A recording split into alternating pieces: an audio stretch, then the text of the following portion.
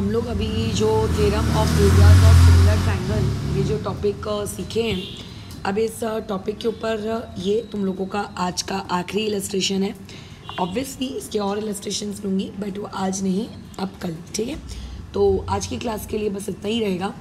तो देखो ज़रा, इस क्वेश्चन में बोला क्या है a model of ship is made in the ratio of one is to two hundred इसका पहले तो मतलब समझते हैं मतलब ये है कि आपका जो एक्चुअल शिप होता है, जो समुद्र में सही में तैर रहा है, अगर मान लेते हैं तुम्हें अपने घर में एक शिप का मॉडल रखना है मॉडल मतलब उसका लेट से एक छोटा सा, क्या कहते हैं उसको फ़ोटो का हो या फिर उसकी छोटी सी आर्किटेक्चरल का हो, है ना? मतलब असली का शिप नहीं, एक नकली का शिप कह सकते हो तुम, अगर तुम्हें अपने घर में रखना है तो।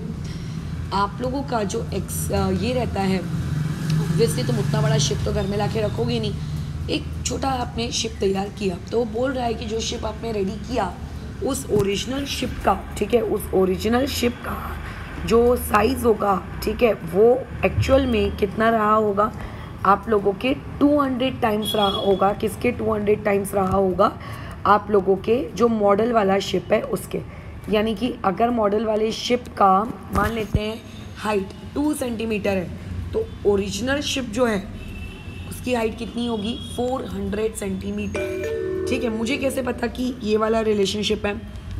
क्योंकि यहाँ पे क्वेश्चन में लिखा है कि model ship is made in the ratio of one is to two hundred यानी कि अगर कोई तुमसे पूछेगा कि मॉडल शिप का कोई भी साइज़ चाहे वो उसकी हाइट हो, चाहे उसका विथ हो एनीथिंग ठीक है? जो भी आप लोगों का मॉडल शिप है, उस मॉडल शिप से रिलेटेड उसका किसी भी प्रकार का जो साइज़ होगा साइज़ ऑफ़ मॉडल शिप ठीक है? अपॉन में साइज़ ऑफ़ ओरिजिनल शिप अगर मैं इस बारे में इन दोनों चीज़ों का क्या ले लूँ? रेशो ले लूँ, ठीक है? तो ये रेशो आप लोगों के पास कितना बैठेगा? वन अपॉन टू हंड्रेड बैठेगा राइट ये ऐसा बैठेगा। अब साइज़ के नाम पे तुम लेंथ हाइट विथ सरकमफरेंस कुछ भी ले सकते हो। तो ये वाली जो इन्फॉर्मेशन है, ये वाली इन्फॉर्मेशन आप लोगों को कैसी दी गई है? गिवन इन्फॉर्मेशन दी गई है करके, ठीक है? अच्छा और इसमें क्या खास बात है? अब इसके पार्ट वन को हम लोग सॉल्व करते हैं, देखते हैं इसका पार्ट वन क्या है। पार्ट वन में लिखा है the length of the model is four metre ठीक है? यानी कि आपने जो शिप बनाया, वो जो शिप है, उस शिप का जो मॉडल है, उसकी लेंथ आपको कितनी दी हुई है? आपको फोर मीटर ठीक है? यानी कि length of the model ship ये वाली चीज़ आपको कितनी दी हुई है? फोर मीटर तो अब वो तुमसे पूछ रहा है करके कि अगर आप लोगों के पास एक ओरिजिनल शिप होता तो उस ओरिजिनल शिप की जो लेंथ होती, वो लेंथ आप लोगों के पास कितनी होती? मैं ओरिजिनल शिप को ओएस लिख रही हूँ, तुम पूरा नाम लिख लेना, ठीक है? तो इस चीज़ की जो इन्फॉर्मेशन है, इसको हम लोग आपके क्वेश्चन नंबर वन में पुट कर देते हैं। सो अगर मैंने इक्वेशन नंबर वन में पुट किया तो therefore size of model ship में के बदले हम लोग क्या लिखेंगे? लेंथ और लेंथ कितनी? चार. नीचे में आपका जो ओरिजिनल शिप है, उस ओरिजिनल शिप की आपको क्या करनी है? लेंथ निकालनी है. तो यहाँ पे आ जाएगा लेंथ ऑफ़ आपका original ship equal to one upon two hundred ठीक है? इस तरीके से. सो देयर फोर यहाँ पे आप लोगों के पास जो लेंथ ऑफ़ ओरिजिनल शिप निकल के आएगा, वो कितना निकल के आएगा? 800 मीटर ठीक है? यानी कि आप लोगों का पहला आंसर आ गया कि आपके पास अगर कोई एक शिप है तो उस शिप में उसकी जो लेंथ होगी ठीक है मॉडल की लेंथ अगर मान लेते हैं फोर मीटर है तो ओरिजिनल शिप की जो लेंथ है, वो कितनी रखी गई होगी करके? 200 टाइम्स उसके, यानी कि 800 अच्छा अब आते हैं नेक्स्ट सवाल में मतलब उसके पार्ट टू में. तो देखो पार्ट टू में क्या बोला गया है? The area of the deck of the ship उस शिप का जो डेक है, उसका एरिया दिया गया है आप लोगों को वन लैख सिक्सटी थाउज़ेंड ठीक है मीटर स्क्वायर तो तुम्हें बताना है कि अगर ओरिजिनल शिप का एरिया इतना दिया है तो अगर तुम उसका एक मॉडल तैयार करोगे तो मॉडल का फिर एरिया कितना होगा?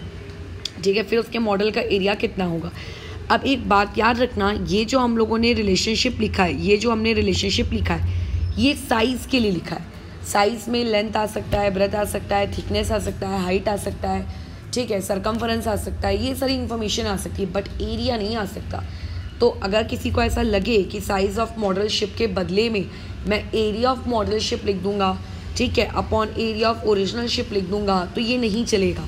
फिर आप क्या करें? देखो, अभी तुम लोगों को मैंने आई थिंक दो तीन दिन पहले ही एक टॉपिक पढ़ाया था, उस टॉपिक में मैंने ये बताया था कि एक आपके पास ट्राइंगल था।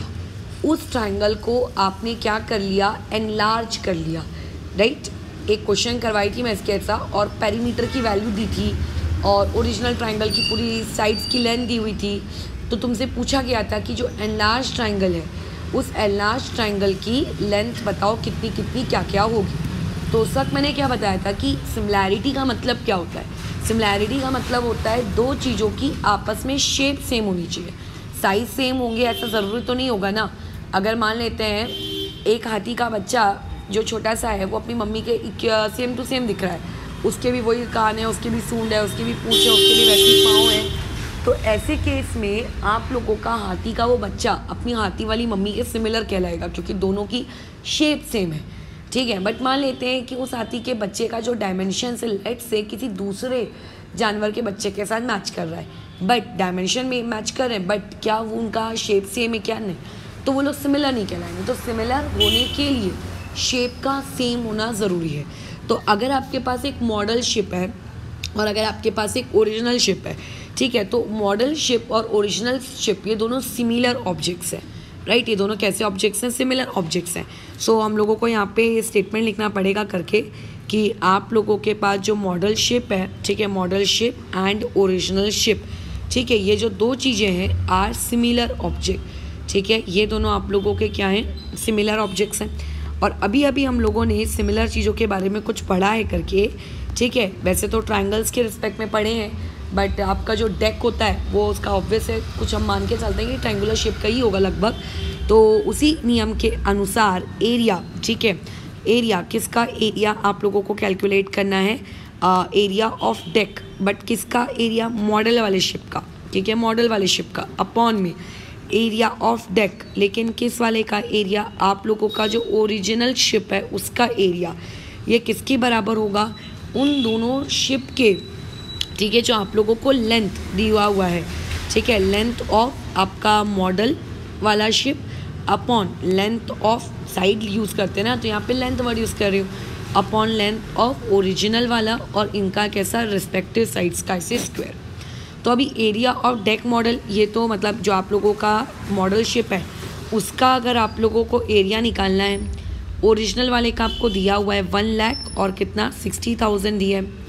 Equal to length of model by length of original ये कितना है? वन अपॉन टू हंड्रेड और उसके ऊपर पैसा स्क्वायर राइट तो इसकी बस तुम आप कैलकुलेशन कर लो तो यहाँ से आप लोगों के पास एरिया ऑफ़ टेक वो भी कौन से वाले शिप का ऑफ़ मॉडल शिप का निकल के कितना आ जाएगा?